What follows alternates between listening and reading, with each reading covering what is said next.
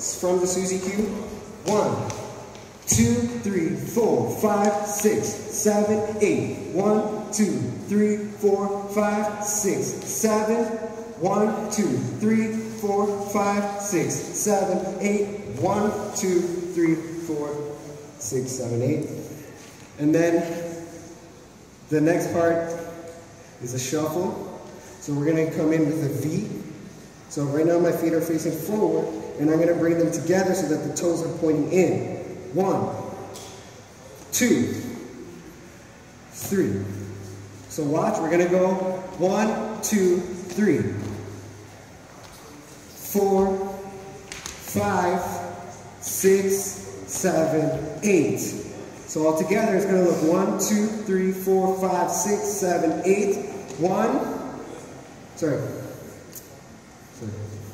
Two, three, four, five, six, seven, eight, and. So eight and.